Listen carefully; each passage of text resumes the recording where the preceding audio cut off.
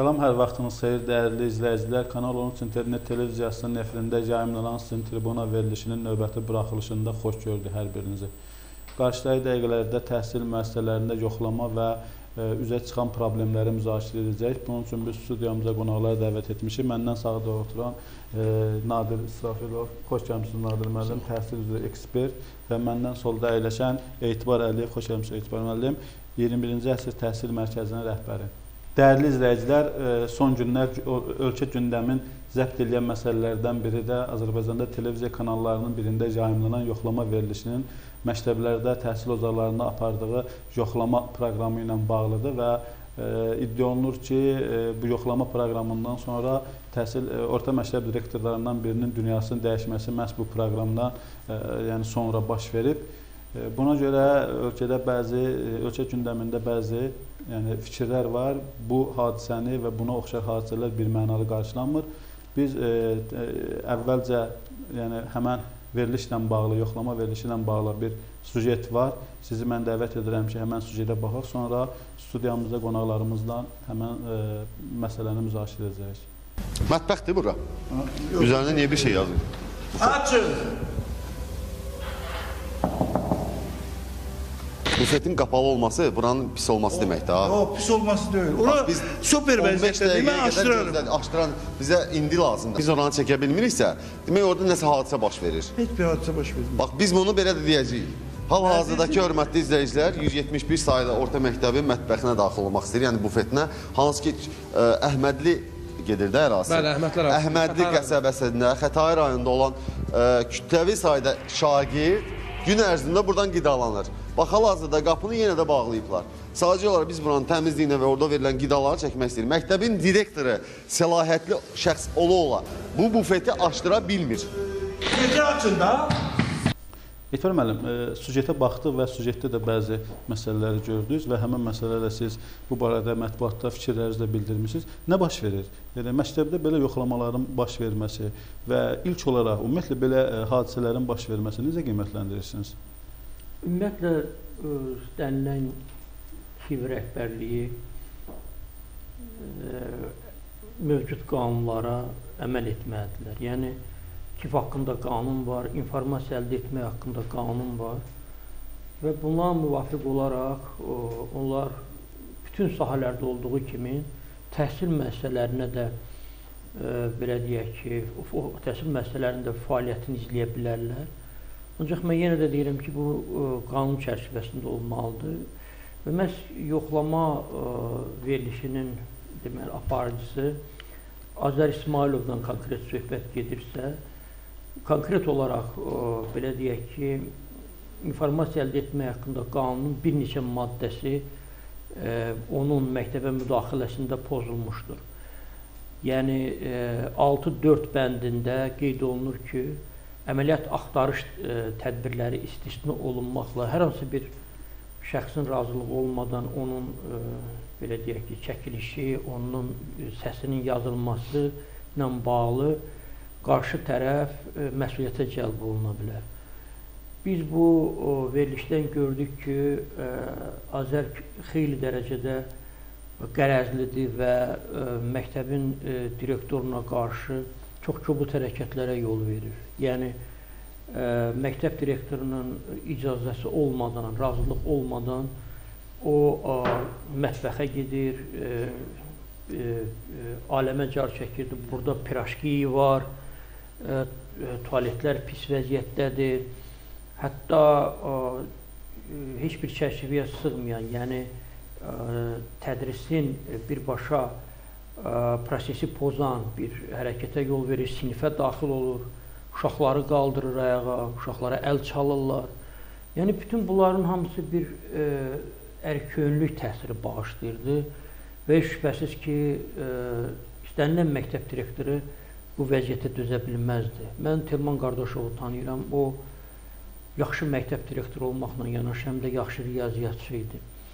Ümumiyyətlə ə, məktəbi tədris müəssisəsini başqa sahələrlə ə, səhv salmaq olmaz. Ola bilər ki, restoranlarda, saunalarda, masaj salonlarında Və bu və ya digər yerlərdə o cür hərəkətlər etmək olardı. Ancaq bu məktəb kollektividir. Burada müəllimlər işləyir.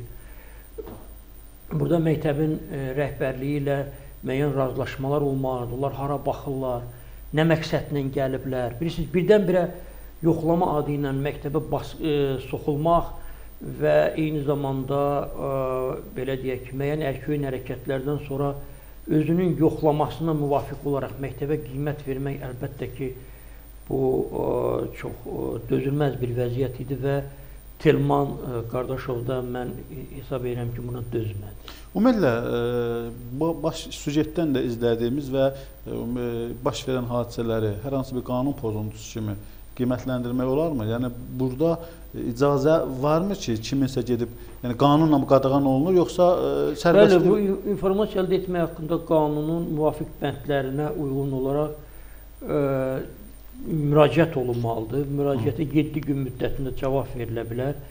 E, ola bilsin ki, bu verilişin Rusiyada və başqa yerdə analoqu var. Ancaq Rusiya mühiti ilə bizim mühit tamamilə fərqlidir və müəyyən intellektual çalarlar da e, hiss eləmək olur ki, həmin o e, deməli verilişlə bu verilişin arasında bilirsiniz, şagirdlərə tələbə deyir orada. E, sonra e, demək Yəni bu əsas problemi siz aparıcının peşə qeyri-peşəkar davranmasında görürsünüz. Qeyri-peşəkar və eyni zamanda mövcud ə, qanunların, qanunların pozul, kobud şəkildə pozulması kimi mən. Təşəkkür edirəm. Nəriman müəllim, siz necə düşünürsünüz?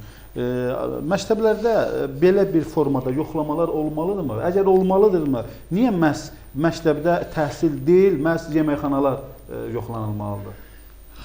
Mən deyim də indi Etibar müəllim də kifayət qədər aydınlıq gətirdi məsələyə. Mən o daha dəqiq olsun deyə mən e, bəzi məsələləri olduğu kimi çatdırım sizə. Əvvələn Azərbaycan Respublikasının qanunun 13.1 maddəsinə görə bu sorğu sorğuçu informasiya sorğusunu informasiya sahibi vəzifəsi şəxsindən bilavasitə və ya telefonla müraciət etmək yolu ilə şifahi və ya sorğunu şəxsən təqdim etmək və ya informasiya sahibinə poçtla, telefaksla və ya elektron poçtla göndərmək üsulu ilə yazılı almaq hüququ vardır.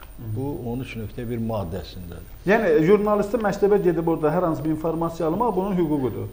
Bəli, hüququdur, amma indi digər tərəfdən bilirsiniz ki, mən çox təəssüf edirəm ki, bizim ə, bəzi istər jurnalistlərimizin, istər ola bilsin məktəb rəhbərlərinin bu Təhsil naziri Mikayıl Cabbarovun xüsusi əmri var. İndi biz o jurnalist hansı sahədə özünü nə kimi aparması e, nə mən müdaxilə eləyə bilmərəm. Mən sırf təhsil işçisi kimi və bu proses insident təhsil sahəsində baş verib deyə mən bir daha nəzərinizə çatdırım ki, Təhsil Nazirinin vahid informasiya siyasətinin təmin olunması barədə 27 dekabr 1913-cü il tarixli 937 nömrəli əmri var.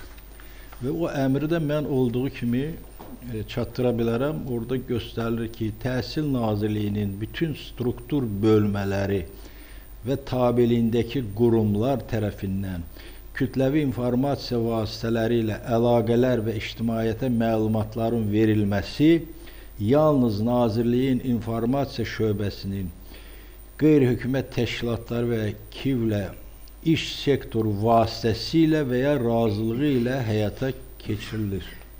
Yəni bu nazirin əmridir və şübhəsiz ki, o Telman Qardaşov deyək ki, mərhum direktor da bir təhsil işçisi kimi bu Nazirliyin nomenklaturasına daxil olan müəssisəyə rəhbərlik edir. İndi bu məsələnin bilirsiniz, bu Üzr dərəcə Təhsil Nazirliyinin bu əmri konstitusiyada nəzərdə tutulan maddə ilə hər hansı bir ziddiyyət təşkil etmirmi? yox, heç bir ziddiyyət yoxdur. Ümumiyyətlə bilirsiniz, İnformasiya almaq haqqında qanunda tam əksi deyil. bilirsiniz, görə- informasiya almaq ə, tamam başqa anlayışdır, amma belə ə, reket formasında məktəbə mən üzr istəyirəm, məktəbə soxulmaq indi siz o ə, kadrlardan açıq-aydın göstərir ki, axı bu məktəbin də rəhbəri var, yiyəsi var.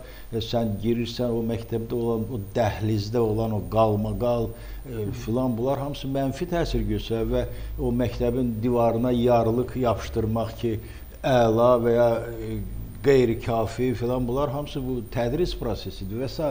Ona görə mən burada bilirsiniz bu hadisənin e, bu dərəcədə böyüyüb e, şişməsində və o direktorun belə e, deyək ki stres keçirməsində indi düzdür o onun ölüm faktını bilavasitə bu jurnalistlə əlaqələndirmək də düzgün deyil. Çünki bu məsələ bilirsiniz müxtəlif şəkildə kimisə böyük əksəriyyət direktorlara haqq qazandırdı. Hətta o jurnalisti müdafiə edənlər də az olmadı. Yəni bir mənalı fikirlər getmir. Amma burada söhbət gedir ki, məsələn bu sö- məsələ o dərəcədə böyüməyə bilərdi. Bu şərtlə ki, məsələn o Teylman qardaşın e, mən onu səhv adlandıraq ya nə adlandıraq, o gərək o məsələni o dərəcəyə çatdırmayaydı. O dərhal o hadisə ilə əlaqədar düşüb telefonla e, yuxarı idarətin Bakı baş Bakı Təhsil Təhsil İdarəsinə və ya Təhsil Nazirliyinə məlumat versəydi və oradan da şübhəsiz ki, rəh- rəhbərlikdən bu məsələnin nizama salınması üçün əlaqədar tapşır- tapşırıqlar veriləcəkdi. Amma bu ki düşdü e, o jurnalistlə orada mübahisə və s. və şübhəsiz ki, o indi insandır psixoloji Təşəkkür edirəm. Əsəb keçirir. S. müəllim, e, Nadir müəllim çox ciddi bir nüansa toxundu ki, əgər e, məktəblərdə, orta məktəb tə- müəssisələrində belə yoxlamalar, e, yəni birbaşa nazirin göstərişi ilə və icazəsi ilə baş tutursa və e, və siz özünüz də etiraf elədiniz ki, Telman Qardaşov peşəkar e, mü- müəllimdir, pedaqoqdur və kifayət qədər yaxşı da vardı bunun, yəni Bəli. gənc kadr da deyildi və belə e, nöqsanlara yol verməməli idi. O zaman niyə bu həmən e, jurnalistin qarşısına düşüb məktəbin bufetinə aparırdı? Yəni bunun qarşısını niyə almırdı? Niyə yoxlamanın məktəbdə keçirilməsinin qarşısını almadı? Bilirsiniz, o kadrdan, süjetdən də hiss olunur ki, Tilman Qardaşov onun qarşısını ala bilmirdi. Yəni e, Tilman Qardaşov nə isə izah etmək istəyirdi. O isə özünə məxsus şəkildə öz interpretasiyasını eləyirdi. Yəni, Yox, üzr istəyirəm, burada belə ki, istənilən jurnalist gedib bəlkə e, fərz eləyək jurnalistin yerinə bir terrorist olardı. Terrorist gəlib məktəbdə o, o davranışı etsəydi, Telman e, Qardaşov, mərhum Telman Qardaşov təbii ki, orada fiziki e, müqavimətdən söhbət getmir. Burada mühafizə xidmətinə müraciət edə bilərdi, polis orqanlarına dəvət edə bilərdi və yaxud da başqa vasitələrdən, alternativ vasitələrdən istifadə edə bilərdi. Amma bunların heç birini etmədi. onda o- mən belə bax e, çox diqqətlə baxdım. Elə bir imkan yaranmadı ki, Telman Qardaşov müraciət etdi. Telman Qardaşov çox çıxılmaz bir vəziyyətdə idi. Yəni Telman Qardaşovu qoyurdu, o e, onu tərk elirdi, o e, demək gedirdi bu- bufetə və yaxud da tualetə baxmağa gedirdi, sinifə girirdi. Sonra isə Telman Qardaşovdan bir-iki süjet verirdi ki, əlini yerləndirməklə hansısa kimisə çağırır və s. Və yanında da bir e, can güdəni ilə e, məktəbə daxil olmuşdu. Bütün hallarda bunları çox mədəni formada eləmək mümkün idi. Biz demirik ki, məktəblərdəki problemlər e, cəmiyyətə qapalı olsun. Məktəbdəki problemlər cəmiyyətə açıq olmalıdır.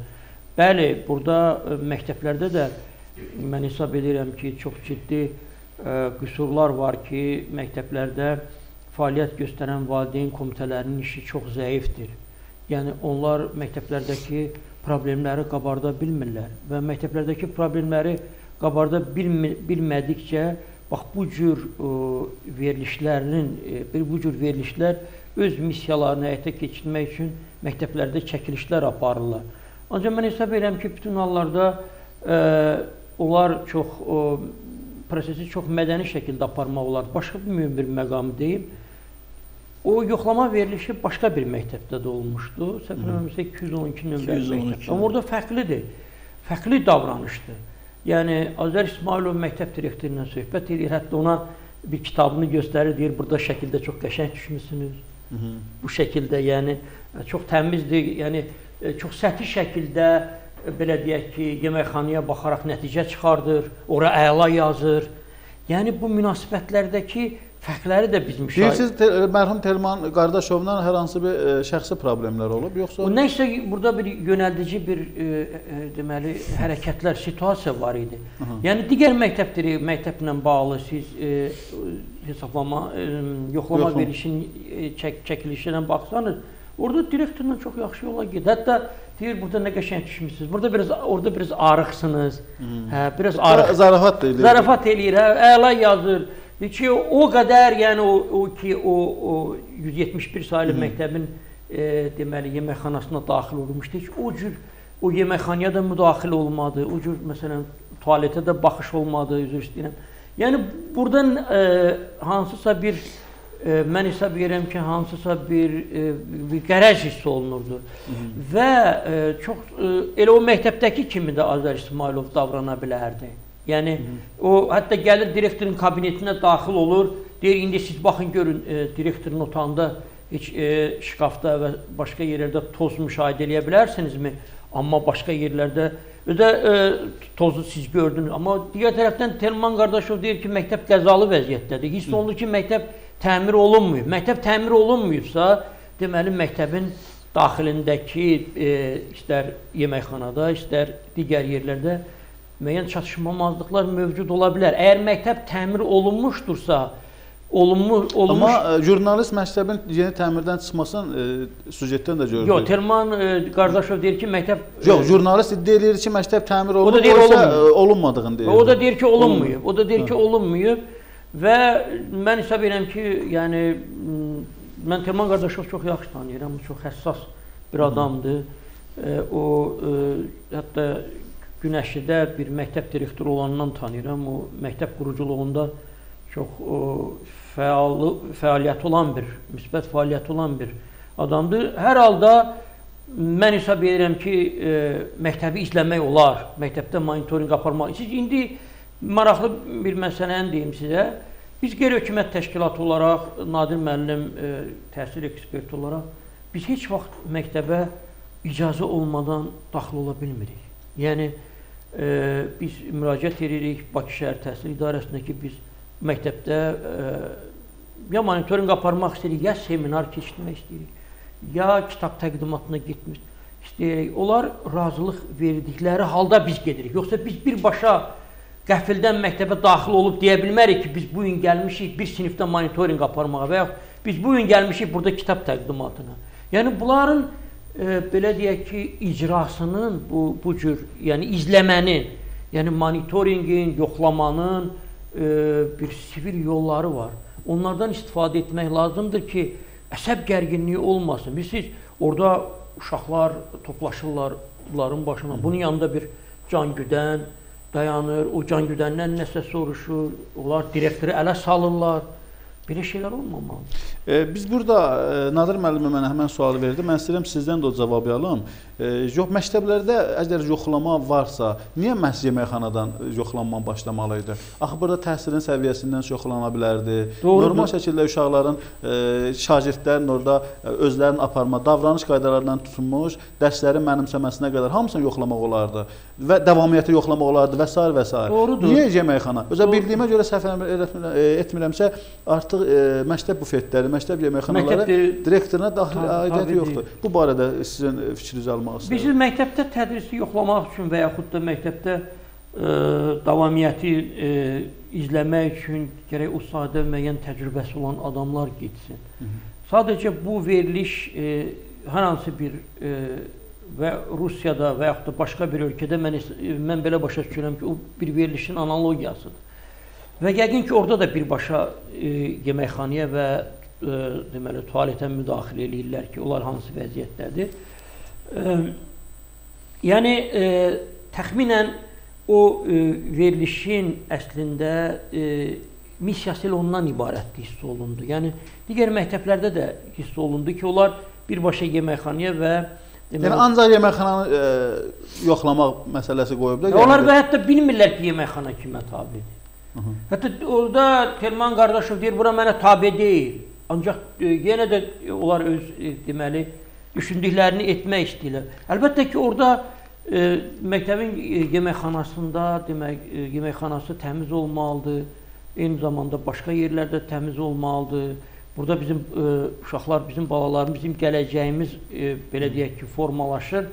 Ancaq onlardan əlavə o həm də sinifə daxil oldu. Yəni sinif sinifdə dərs prosesini poz. Dərs prosesini heç kimin pozmağa ixtiyarı yoxdur. Yəni dərs prosesinin birbaşa ağası belə deyək ki, müəllimdir. Və bu cür veriliş e, artıq gör, gör, görünür ki, demək alınmır. Yəni bu effekt vermir. Ondan əvvəlki məktəblərdə də effekt verməmişdi. Yəni ondan əvvəlki bir məktəbdə də hətta siz izləsəniz görəcəksiniz ki, məktəbin e, direktor müavini onları qovmaq istəyir məktəbdən. Onlar getmirlər. Onlar deyir siz tərk eləyin məktəbi. Onları itəlirlər, təzədən qalxırlar. Bax bu bura filan yerdir, e, antisanitariyadır. Burada e, vəziyyət çox pisdir, acınır. Orada da qiymət yazır, yapışdırır. Belə bu bilirsiniz, mənfi qiymət yazmaq və yaxud da müsbət qiymət yazmağın o əvvəla heç nəyə dəyişmir. Bir, ikincisi də ki, əslində o e, o qiymətlər də e, başqa tərəfdən direktorlar haqqında e, ictimai rəy dəyişir. Yəni açıq şəkildə görülür ki, Telman e, Qardaşov, Qardaşov. Telman Qardaşov 2 aldı. Bir məktəbə də 2 vermişdilər. Amma nədənsə o birisi məktəbdə isə 212 idi səhv eləmirəmsə. Sanki elə bir ki, direktorla bir tələbə yoldaşıdılar. Elə bir ki, neçə illərdir bir-birlərini tanıyırlar. E, münasibət əgər eynidirsə, eyni Obyektivlik olmalıdır. Hamısına bir, eyni. bir mənalı. Təşəkkür edirəm. Nadir müəllim, sizin e, Etibar bəyin dediyinə əlavələriniz varmı? Buyurun. Mənim əlavəm odur. Etibar müəllim bir yaxşı məqama toxundu ki, bu yoxlama e, belə deyək də, deyək ki, restoran, şadlıq evi, nə bilim, sauna, bu başqa baş bu təhsil e, spesifik e, xarakterik cəhətləri var. Məsələn, siz təsəvvür edin ki, bu saat təhsildə dövlət siyasətinin prinsipləri var. Humanistləşmə, demokratikləşmə və s. İndi siz təsəvvür edin ki, e, hətta təhsilin ən yuxarı idarə edici orqanı olan Təhsil Nazirliyində baş inspeksiya var idi. Bu baş inspeksiya ləğv olundu, monitoring mənəvəzi. Yəni bu saat təhsildə yoxlama anlayışı yoxdur. Təhsildə monitoring var. İkincisi də ki, bütün rayon təhsil şöbələrində, Bakı təhsilində filan da inspektor ştatları ləğv olunub, məsləhətçi ştatları daxil olub. İndi bu mənada belə bir yoxlamanın o təhsilə tətbiqinin e, bilirsiniz başa düşmək olmur. Çünki bu e, müxtəlif rəylər əmələ gətirir və məhz də məhz də o mətbəxt məsələsinin məsələsinin qoyuluşu bu açıq-aydın bu əvvəlki dövrdəki kimi bu mətbəxt e, əgər burada söhbət təhsil obyektindən gedirsə, bu hər hansısa ki, bayaq qeyd elədiyim kimi müvafiq qanunvericiliyə müvafiq olaraq gəlib məktəbdə təhsil prosesinin planına baxardılar, yoxlayardılar və bundan da e, müəyyən bir ictimai fikir, bir rəy yaranardı. Amma burada görünür, mən hiss eləyirəm, e, mənim şəxsi subyektiv mövqeyimdir. Burada qərəzçilik elementləri açıq-aydın görünür. E, Nədir müəllim, ortada fakt var. Mən hesab edirəm ki, e, əgər burada ölüm hadisəsi baş verməsəydi, bu verilişdə bu qədər e, səs-küyə səbəb olmayacaqdı və bəlkə də davam edəcəkdi belə. Yaxşı, burada fərz edək ki, məktəblərdə, məktəb təhsil ocaqlarında hər hansı bir neqativ halların üzə çıxarılmasının və ortaya qoyulması məqsədi ilə hər hansı bir veriliş e, yaradılır və veriliş bu işi çəkir. Üzr istəyirəm. Və verilişin özündə də görürsün növbəti problemlər üzə çıxır. Burada əsas günahkar kimdir? Təhsil siyasətində, yoxsa jurnalistikada, Azərbaycan televiziyalarında, e, cəmiyyətdə, məktəb ictimaiyyətində burada əsas e, yük kimin üzərinə düşür bu barədə? Bilirsiniz, indi burada mən o əsas yük hara düşür, kimə düşür, o barədə burada bilirsiniz, söhbət ondan gedir ki, elementar etik normalar var da. Məsələn, o deyək ki, mən hesab edirəm ki, o jurnalistin axı biz hüquqi dövlətlik və etik normalarla, humanistliklə idarə olunmur. Dövlətin konkret hüquq e, konsepsiyası var hər bir sahədə. Hüquqla, qanunla idarə olunmalıdır.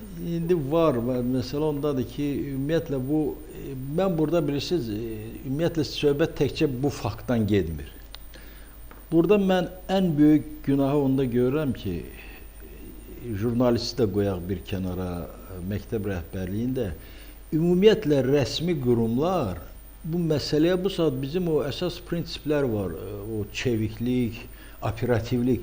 Ümumiyyətlə bax hansısa məktəbdə və yaxud hardasa bir hadisə baş verir, bu bütün saytlarda ictimailəşir, bütün cürbəcür anlaşılmazlıq yaranır və s. və üstündən bu iş böyüyüb o tam belə müxtəlif o yön alandan sonra rəsmi qurumlar buna açıqlama verirlər. Ona görə də burada ən birinci şərt odur ki, hər hansı bir hadisəyə ilkin olaraq ilk e, cavab, ilk münasibət rəsmi qurumlardan gəlməlidir və çünki e, çox adam məsəl üçün e, bu e, orta statistikalı Azərbaycanlı deyək ki, hardan bilə bilər ki, e, bu e, jurnalist məktəbə girə bilər, girə bilməz, hansı halda girər. Amma bu açıqlama əgər vaxtında verilsə, o məsələyə o münasibət də e, yəni belə ikili, üçlü xarakter daşımaz. Bax, ona görə bir də bilirsiniz, ümumiyyətlə istər e, jurnalist olsun, istər məktəb rəhbəri olsun, e, bu sahədə bu e, normativ hüquqi baza, qanunvericilik aktları ilə bağlı e, geniş maarifləndirmə işi aparmaq lazımdır. Məsələn, mən e, çox təəssüf eləyirəm ki, bizim bu saat e, bir çox e, elə deyək ki, məktəb rəhbərimiz olsun, digərləri olsun, o təhsil qanunvericiliyi ilə bağlı müəyyən qisminin təəssüratları kifayət qədər deyil. Əgər... Təşəkkür edirəm Nazım müəllim. Etmən müəllim, bu sualı e, siz də cavablandıra bilərsiniz və bir şey də əlavə edim ki, e, yəni rəsmi açıqlama oldu ki, bilmirəm rəsmi ya qeyri-rəsmi, ancaq belə bir mətbuatda belə bir fikir getdi ki, e, həmən yəni kanalın məktəblə həmən məktəbə gedib yoxlamaq üçün heç bir izah e, yəni e, icazəsi olmayıb. E, o zaman icazəsi olmayıbsa və belə bir hadisə baş verib və iddia da var ortada, Niyə görə həmən kanal və jurnalist haqqında hər hansı bir ölçü götürülmür və yaxud da bu sahədə araşdırma aparılmalıdırmı? Bəli. Niyə aparılmır? Biz maraqlı sual verdiniz bayaq Nadir müəllimə də. Əslində e, ondan əvvəl iki veriliş olmuşdu. İki e, məktəbə demək həmin yoxlama verilişi getmişdi. Ha. Əgər bu qanunsuz da o vaxt niyə qarşı salınmalı idi? doğrudur. O iki e, deməli məktəblə bağlı e, Təhsil Nazirliyi, Bakı şəhər Təhsil İdarəsi telekanalla, telekanalla danışıqlar aparmalıydılar ki, bunun xeyri nədir, ziyanı nədir? Bilirsiniz, bu adam iki dəfə, üç dəfə e, demək, məktəblərə gedəndən sonra artıq davam etdirmək istəyir fəaliyyətini. Davam etdirmək istəyən, istədiyi halda da belə bir, belə deyək ki, problemlə üzləşir belə bir problemlə, problem yaranır. Tamamilə doğrudur. Çox haqlı, çox maraqlı sual verir.